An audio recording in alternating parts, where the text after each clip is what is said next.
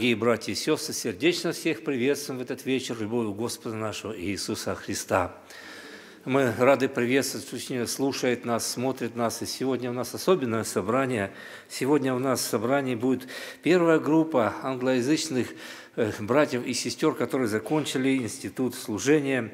И сегодня они э, с вами предстанут мы молиться о их служении. У нас в гостях брат Андриан Доната, брат Евгений Бардыш представит его, и Вячеслав Михайлович с нами будет молиться говорить слово. И вторая часть нашего собрания, братья и сестры, это служение памяти Ширковой Валентины Васильевны, которая в 1974 году отошла в вечной обители. Мы выражаем искреннее соболезнование родным, близким, детям, друзьям, всем, кто помнил нашу дорогую сестру. Пусть Господь вас утешит. И прежде чем мы помолимся, дорогие, я хочу вместе с вами молитвенно прочитать молитвенный псалом.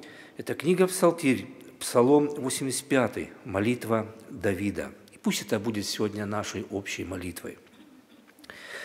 «Преклони, Господи, ухо Твое, и услышь меня, ибо я беден и нищ. Сохрани душу мою, ибо я благоговею пред Тобою. Спаси, Боже мой, раба Твоего, уповающего на Тебя. Помилуй меня, Господи, ибо к Тебе взываю каждый день. Возвесели душу раба Твоего, ибо к Тебе, Господи, возношу душу мою. Ибо Ты, Господи, благ и милосерд, и много милостив ко всем призывающим Тебя. Услышь, Господи, молитву мою, и внемли глаз умоления моего. В день скорби моей взываю к Тебе, потому что Ты услышишь меня. Нет между богами, как Ты, Господи, и нет дел, как Твои. Все народы, Тобою сотворенные, придут и поклонятся пред Тобою, Господи, и прославят имя Твое. Ибо Ты велик и творишь чудеса, Ты, Боже, един Ты. Настав меня, Господи, на путь Твой, и буду ходить в истине Твоей. Утверди сердце мое в страхе имени Твоего. Буду восхвалять Тебя – Господи, Боже мой, сердцем Твоим и славить имя Твое вечно, ибо велика милость Твоя ко мне. Ты избавил душу мою от ада преисподнего. Боже, гордые восстали на меня, и скопище мятежников ищет души моей. Не представляют они Тебя пред собою. Но Ты, Господи, Боже, щедрый и благосердный, долготерпеливый и многомилостивый и истинный, призри на меня и помилуй меня. Даруй крепость рабу Твоему и спаси сына рабы Твоей. Покажи на меня знамение во благо, да видят ненавидящие меня и устыдятся, потому что Ты, Господи, помог мне и утешил меня. Аминь. Господи, Отец Небесный, мы от всей души Тебе сердечно благодарим и славим за эту драгоценную возможность и в этот вечер, вечерний час предстоять пред Тобою. Слава Тебе, Господь, что мы хранимы на путях нашей жизни, Ты оберегал нас. И сегодня даровал эту чудесную возможность собраться вместе – поклониться святому имени Твоему, прославить Тебя, нашего Господа, и услышать Слово благое и истинное. Прибудь Ты Духом Святым в этом собрании и благослови его. Исполни силы Духа Святого наших дорогих харистов, всех славословящих Тебя, и вдохновей проповедников, которые Ты вручил сегодня преподать Слово народу Твоему. Мы от всей души Тебя сердечно благодарны за нашу дорогую молодежь, Господь, который на протяжении этого года училась в институте служения. Слава Тебе, Господь милосердный, что отозвались эти люди, желающие, Господь, проповедовать Слово Твое. И благослови сегодня их представление перед народом Твоим, перед церковью. Мы от всей души Тебя благодарим за служение и труд отдела образования нашего Тихоокеанского объединения. Умножай, Господь, и количественно, и качественно этот институт, Господь, чтобы многие еще обучались в нем. И их братьев, гостей мы сердечно благодарим и их участие в нашем собрании. Молим и просим Тебя, Господь, чтобы Твое божественное утешение сегодня коснулось всех родных, близких, кто знал дорогую нашу сестру Валентину Васильевну, которую Ты отозвал в вечной обители. Благодарность Тебе, Господь, что она любила Тебя, славила Тебя всем сердцем, Господь. И Ты даровал ей способность и голос прекрасный, Господь. И дети унаследовали от нее этот драгоценный дар, и они также прославляют Тебя. Поэтому благослови и это собрание, чтобы оно было утешением для родных, близких, назиданием для церкви и славой для Тебя, наш вечный Бог. Мы поклоняемся пред Тобою. И, Господь, просим Тебя, благослови, кто сегодня слушает нас и смотрит нас, кто не имеет возможности быть сегодня в доме Твоем, благослови. Мы молимся Тебя, Господь, и о нашем городе, в который Ты нас переселил, чтобы при благоденствии Его и нам был мир. Во имя Отца и Сына Святого Духа. Аминь. Братья и сестры, сейчас хор споет молитвенный гимн, мы стоя его выслушаем. И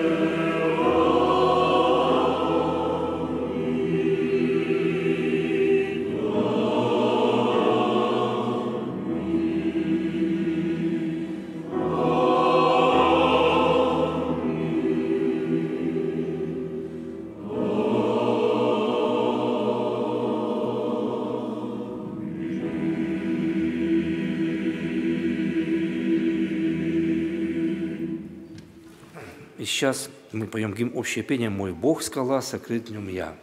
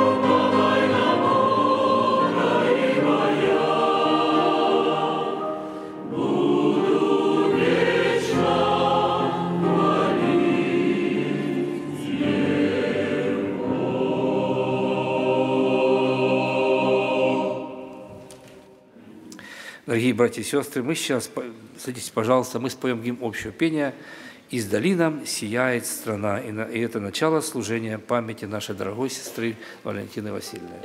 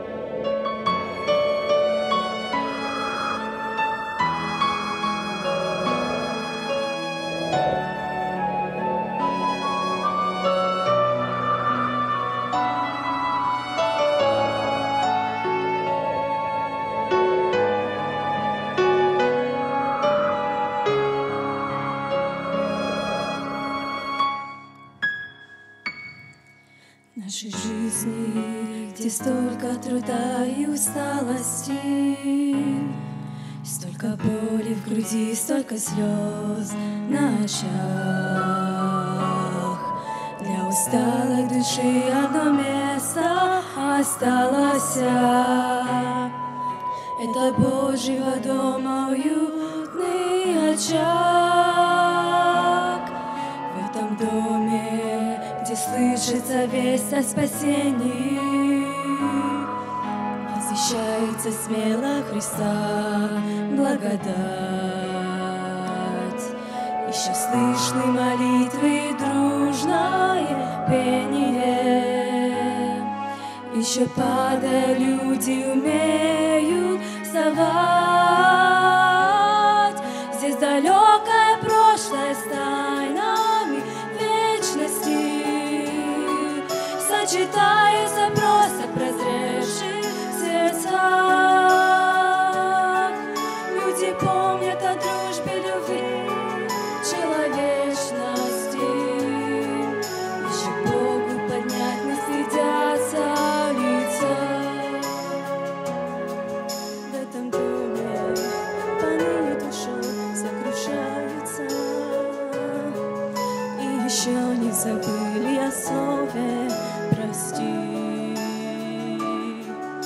Еще в память о Господе хлеб преломляется.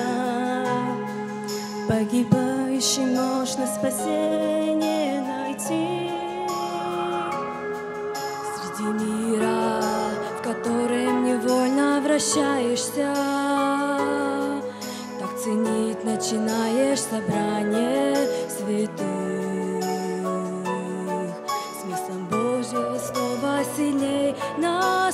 Наслаждаешься. Смыслом вечным глубоких глаголах живых. Здесь далекое прошлое с тайнами вечности. Сочетаются просто прозревших сердцах Люди помнят о дружбе, любви, человечности Богу поднять не стыдятся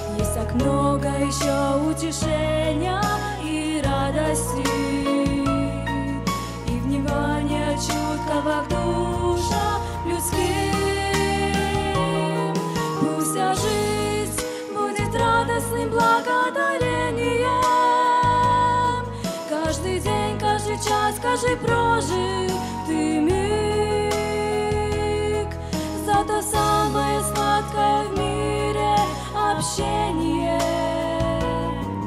Церкви Божьей собрание Христовых святых. Здесь далекое прошлое с тайнами вечности Сочетается просто прозревший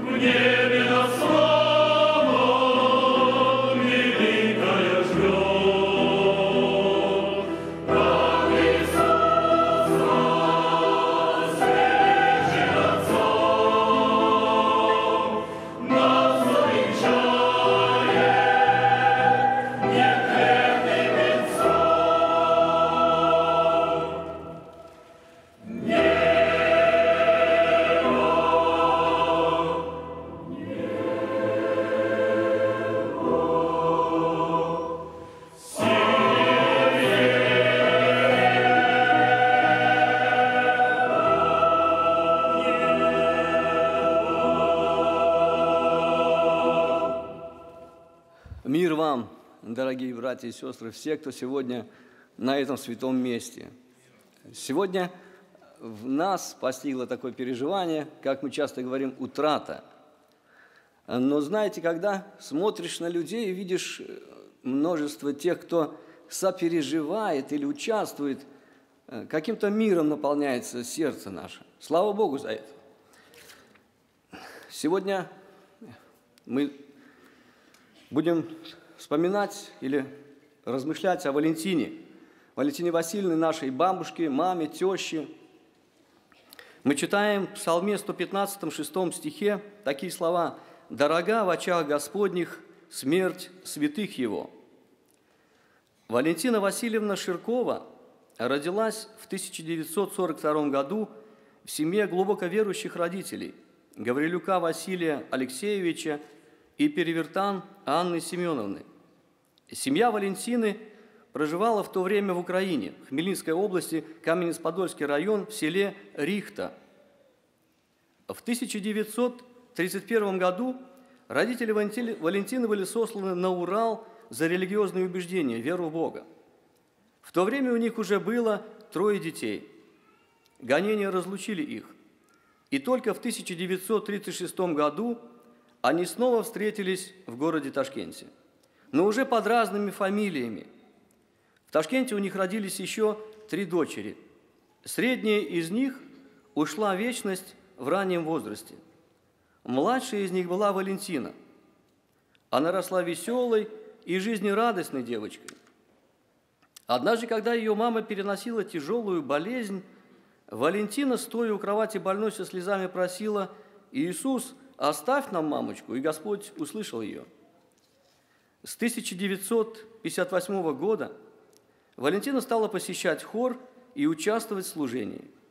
В 1959 году вступила в завет с Господом и продолжала активное участие в хоровом служении, где была одной из ведущих солисток – Руководителями этого хора были Зубов Алексей Флегантович и Семерюк Григорий Дмитриевич. Валентина очень любила петь. Любимым ее занятием было пение сольное, дуэт, трио, групповое, частые выезды. В 15 лет она стала обучаться игре на гитаре и участвовать в струнном оркестре. В то время не всегда можно было свободно участвовать в служении. Местами даже закрывали собрания, молитвенные дома.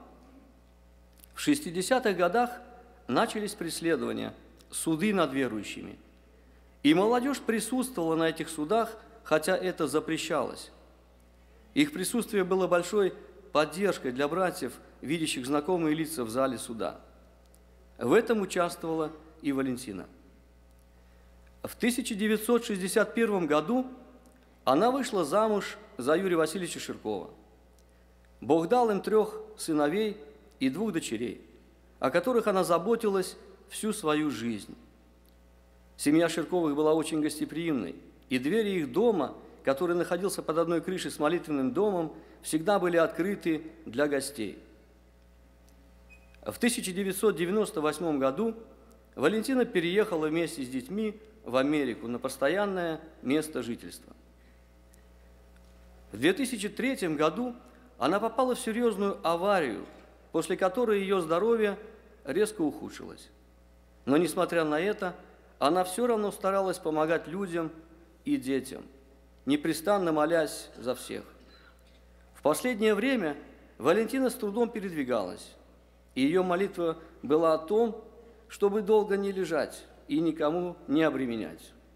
Слава Богу, что Бог услышал ее молитву. Желания боящихся Его Он исполняет, вопль их слышит и спасает их. Псалом 144, 19 стих. 20 января в 11.30 она впала в кому, и 22 в 4.30 вечера Валентина Васильевна Ширкова отошла в вечность. Она оставила после себя четырех детей, четырех детей, 14 внуков и трое правнуков. До встречи в небесах, наша дорогая и любимая мамочка. Аминь.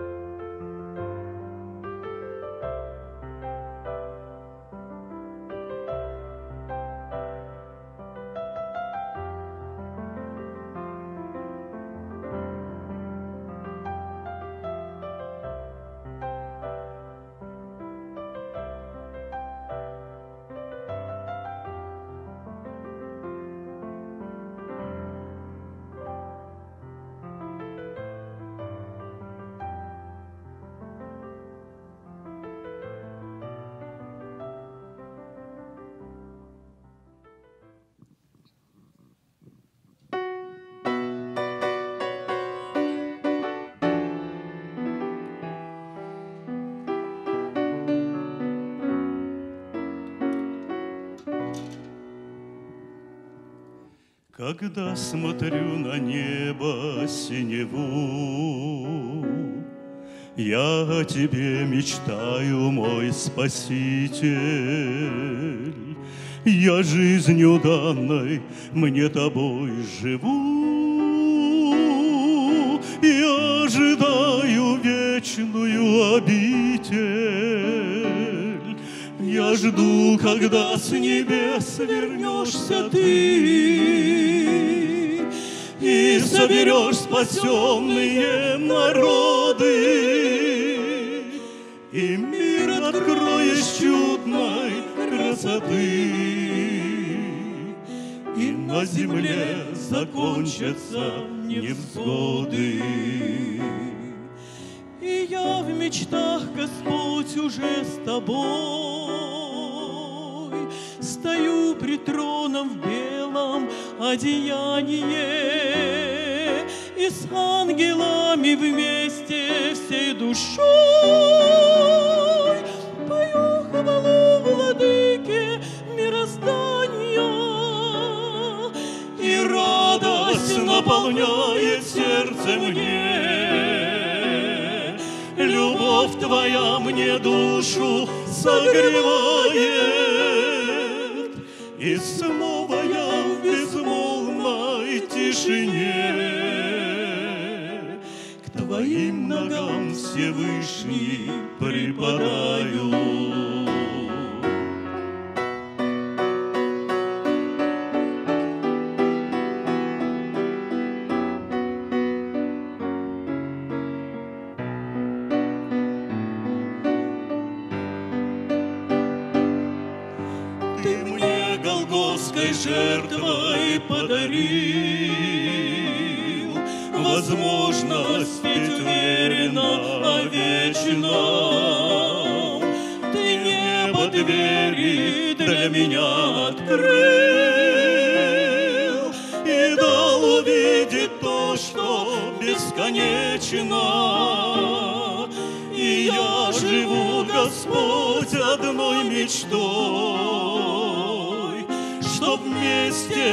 Со спасенными святыми Я буду жить во славе неземной И прославлять Твое святое имя. Я буду жить во славе неземной И прославлять Твое святое имя.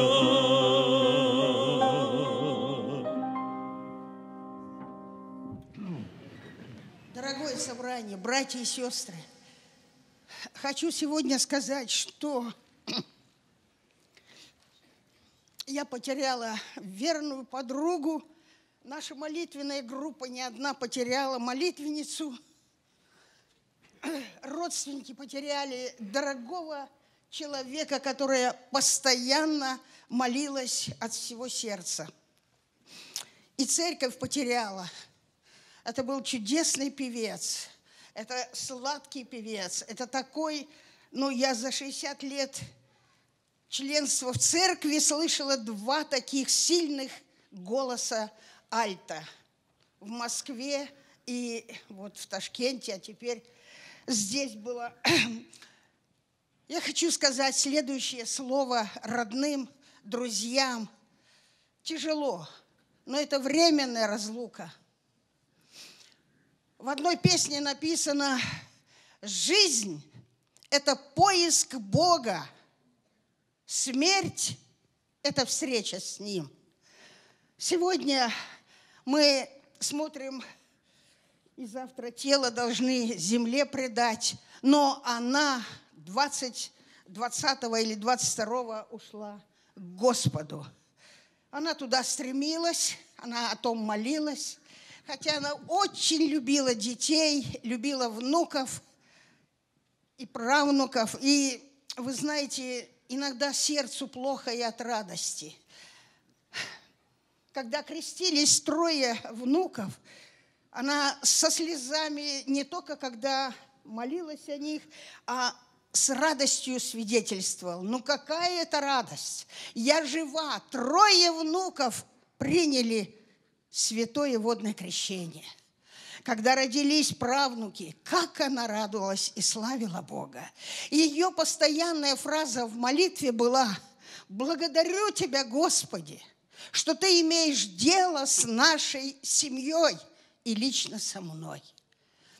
И когда очень-очень физически ей было тяжело, мы молились.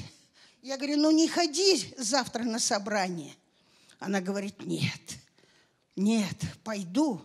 Так должно быть. Пусть болит, но я пойду.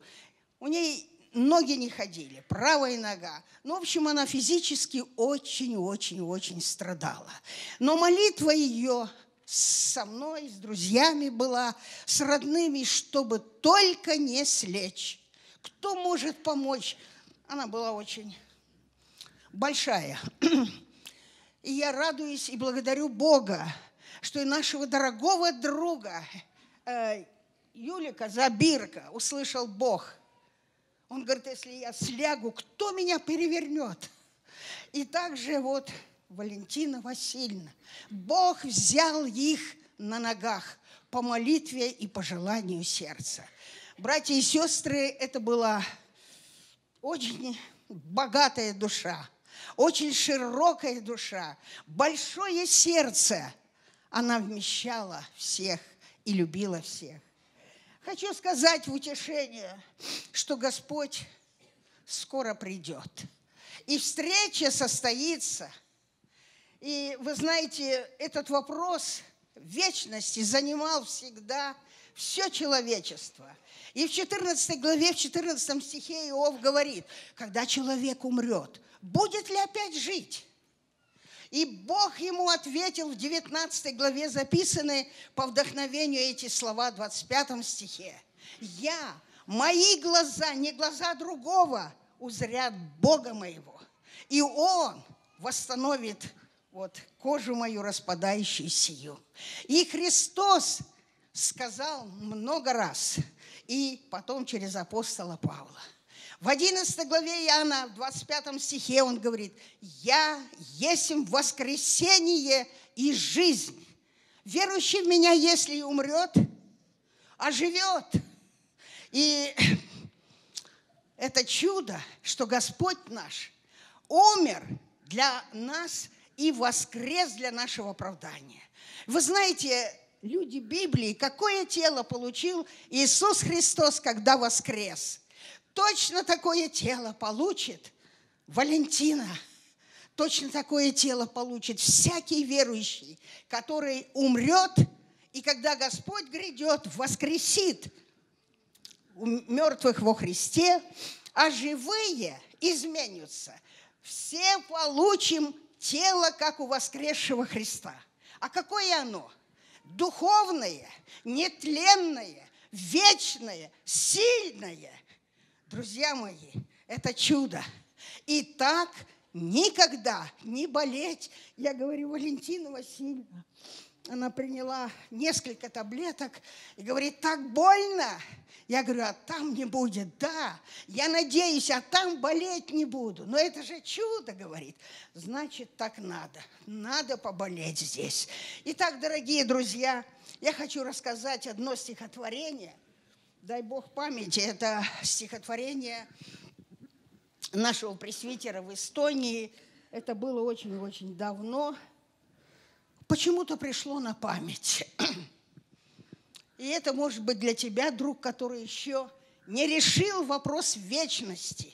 Сегодня есть такая великая святая возможность, как сестра сейчас сделала этот шаг, это решение, и ты приди сюда, молодой, пожилой, отпавший, я не знаю.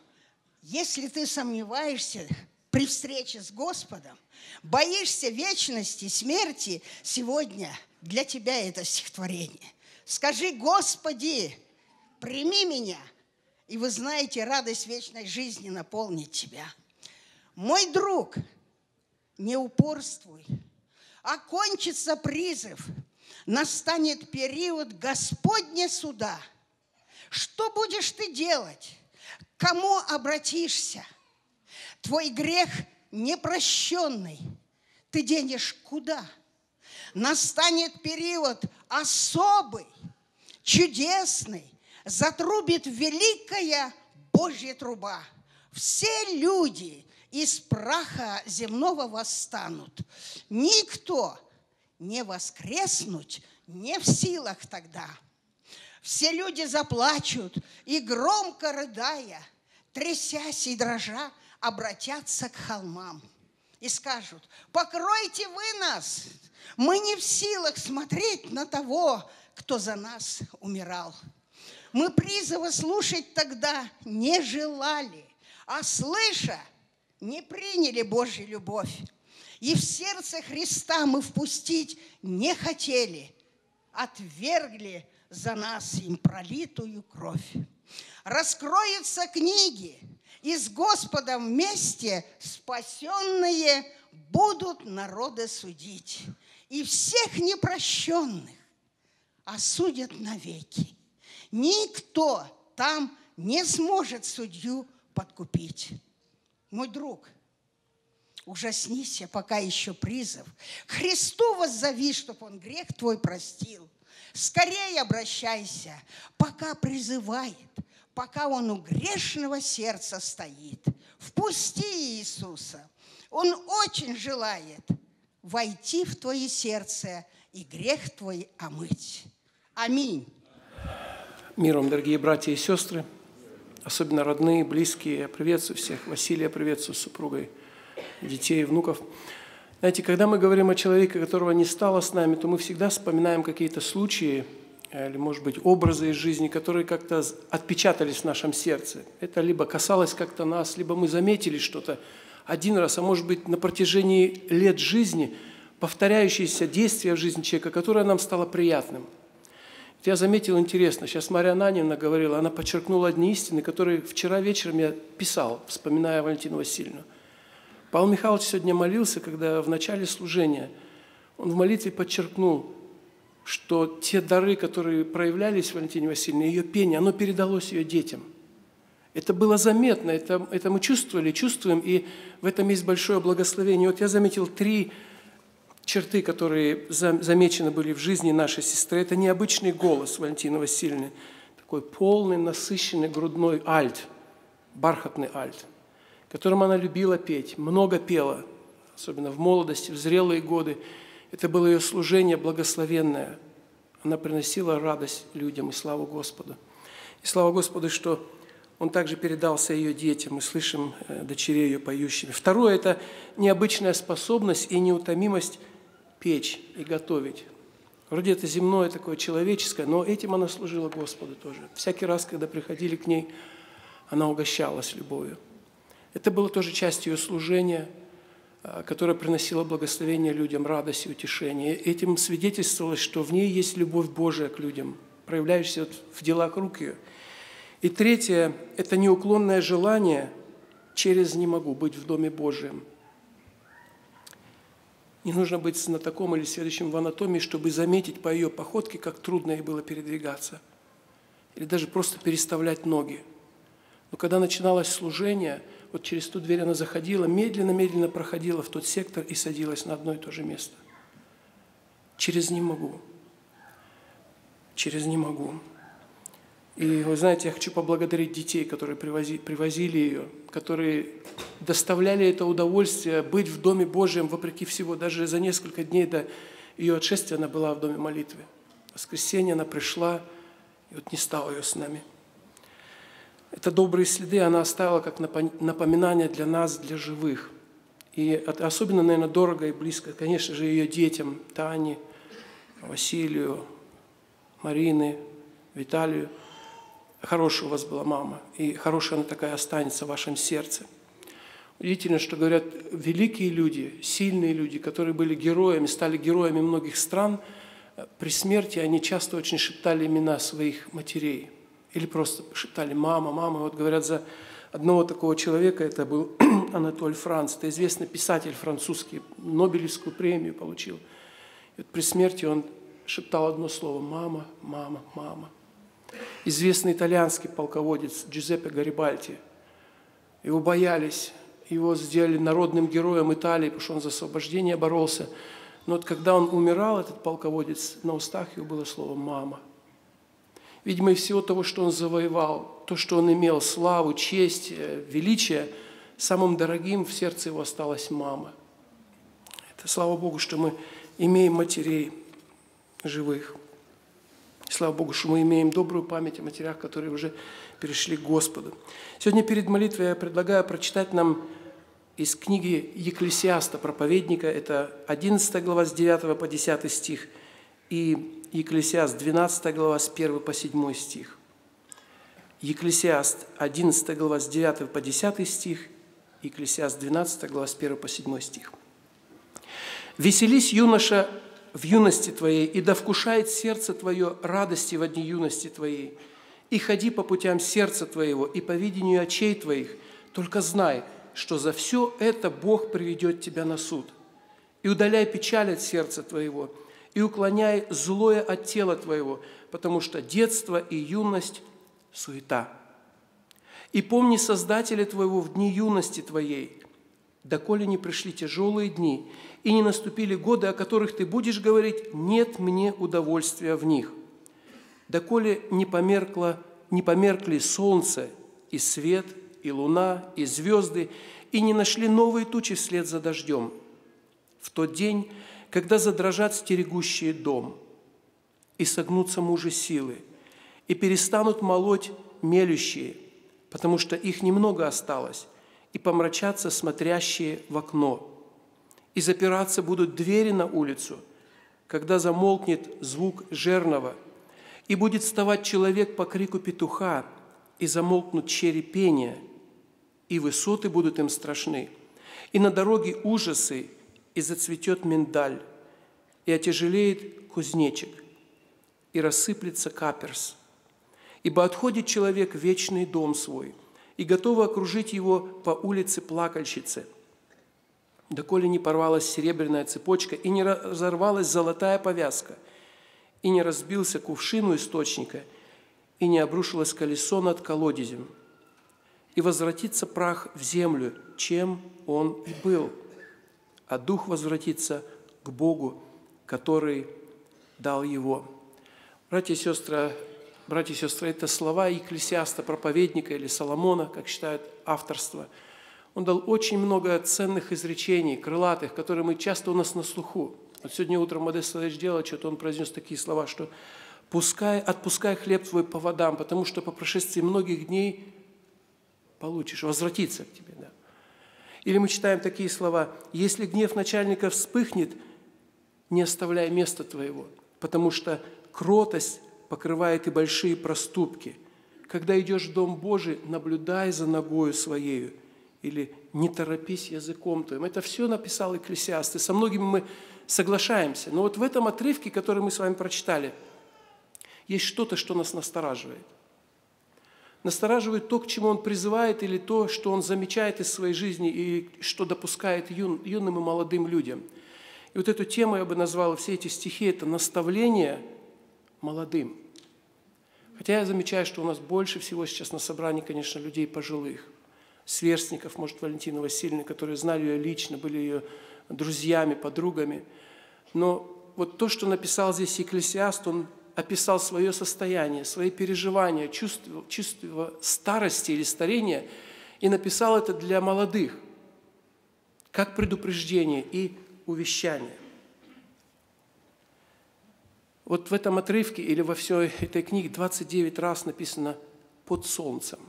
Все рассуждения, которые он ведет, или когда он говорит «и заметил я», или «увидел я», или «вот и так», под солнцем. То есть он все наблюдает, что происходит на земле. Вся его мудрость здесь земная, все его поиски земного счастья были. И поэтому, когда он не находил счастья, он часто говорил, все суета, все суета, сует, суета и томление духа. И вот если мы в этом ключе смотрим на эти отрывки, то есть в ключе того, что он, не поднимаясь до престола Божьего, рассматривал поиски счастья, то, конечно, суета. Конечно, э, последствия этих поисков – это было томление духа – что же мы можем взять для себя сегодня? Вот в этой книге а, Екклесиаст 40 раз употребляется имя Бога. Это говорит о том, что автор или писатель или Соломон, он лично знал Бога. Но это имя употребляется только как Элохим, то есть Творец и Создатель. Творец и Создатель. И не употребляется как Яхве, или не употребляется как Господь, как личный Спаситель. Он не имел этих отношений с Ним, и поэтому его отношение к жизни очень похоже на отношение многих людей, даже сидящих сегодня здесь в этом собрании. То есть мы можем знать Бога, видеть Его творение, признавать Его как Творца и Создателя, но не искать личных отношений с Ним. Может быть, потому что мы заняты своими поисками каких-то наслаждений юности. Может быть, мы еще не понуждались в Боге. И вот те, то, что написал здесь Екклесиаст, это как раз-таки предупреждение молодым, всем, кто здесь есть. А иногда даже не очень молодым, которых уже жизнь, может, идет к закату, они так и не решили вопрос спасения, осуетились, заработались, заискались счастье.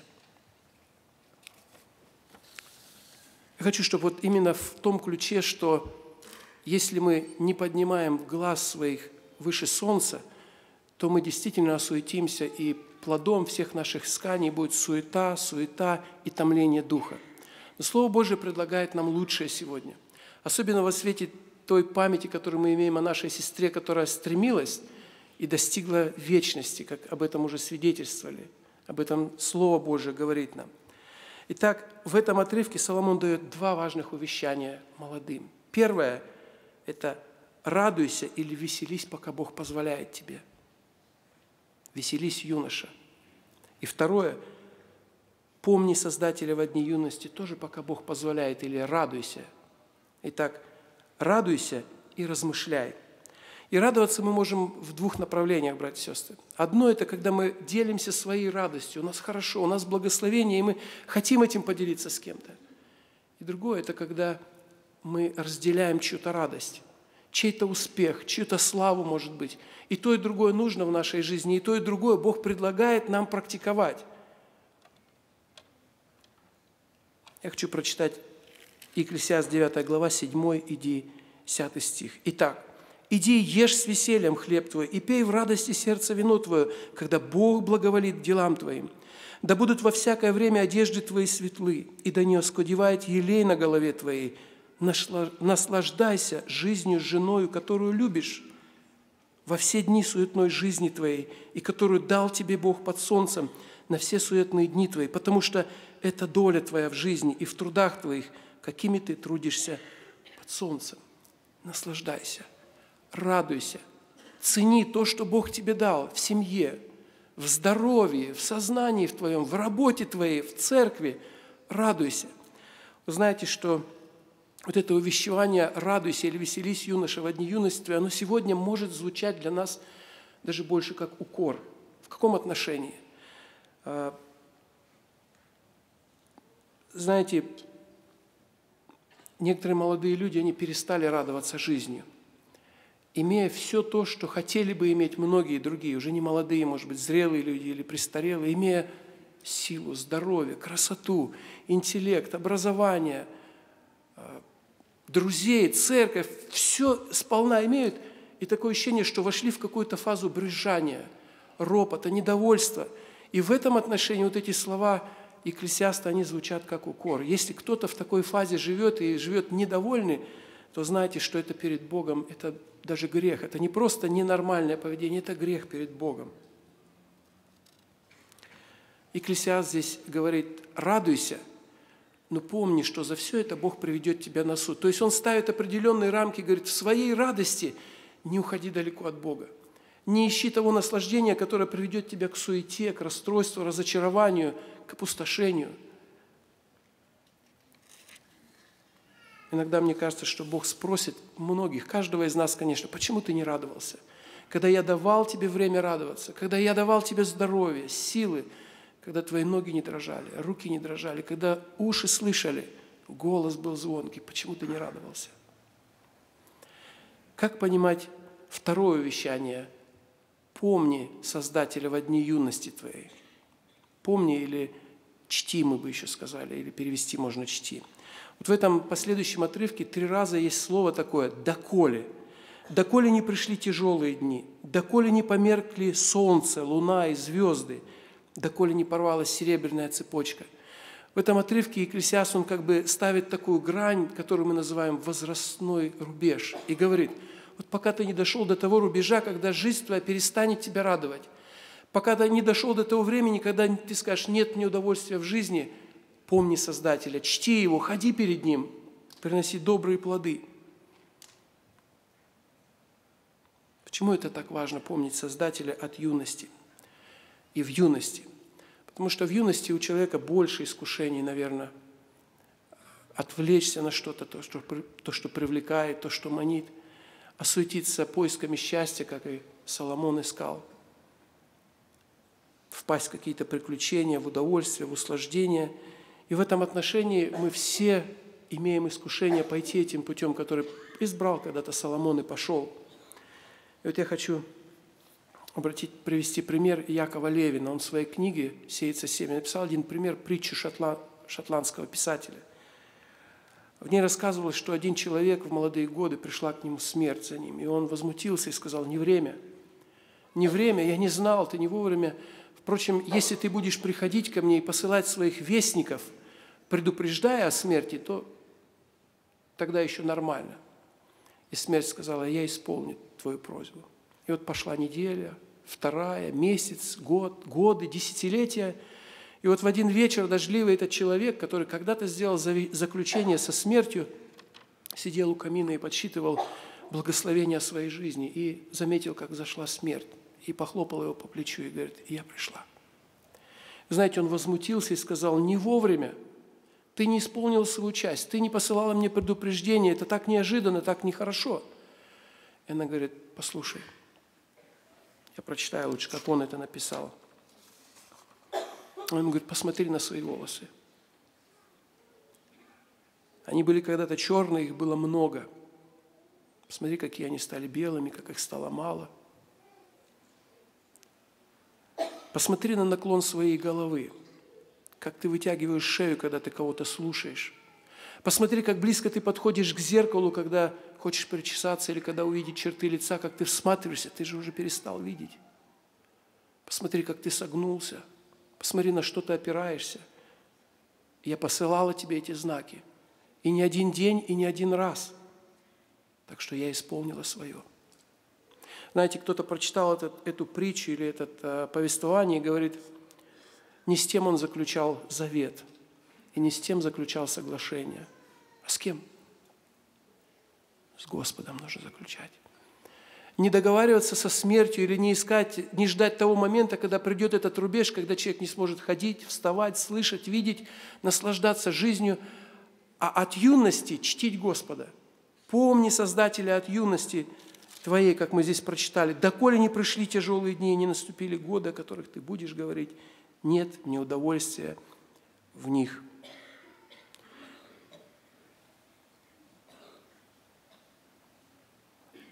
Это картина, которую описал здесь Екклесиаст о стареющем человеке, у которого, я прочитаю лучше это место, задрожат стерегущие дом, это о руках он говорит. Согнутся мужи силы, о ногах говорит, что не будет человек спокойно или крепко стоять на ногах своих. Перестанут молоть мелющие, зубы перестанут молоть. Написано, потому что их немного осталось. Помрачаться смотрящие в окно, глаза помутнеют, зрение потупится. Запираться будут двери на улицу. Говорят, это уста будут запираться, человек не сможет говорить. Когда замолкнет звук жерного, и будут вставать человек по крику петуха, и замолкнут черепения, когда бессонница будет, когда человек не сможет петь, не сможет слышать, вот когда все это придет – Другими словами, он говорит, не жди, не ждите. Чти Господа от юности твоей. Я уверен, что сегодня бы, если Валентина Васильевна была сегодня с нами и слышала эти предупреждения, она бы, наверное, сказала, аминь, Господи, я это пережила. Это мои ноги стали слабыми, это мое зрение притупилось, слух притупилось. Я благодарю Тебя, что от юности я могла служить Тебе, что были годы, когда я полноценно трудилась, не уставая. Сегодня вопрос ко всем, кто имеет эту силу, даденную от Бога, и время, даденное от Бога, для которого еще не наступило это время доколе. Дорогие друзья, дорогие братья и сестры, молодежь, чтите Господа от юности вашей. И сегодня Слово Божие говорит, вот теперь время благоприятное, вот теперь день спасения. Евреям 3 глава 7 стих. «Ныне, когда услышите глаз Его, не ожесточите сердец ваших». Последнее.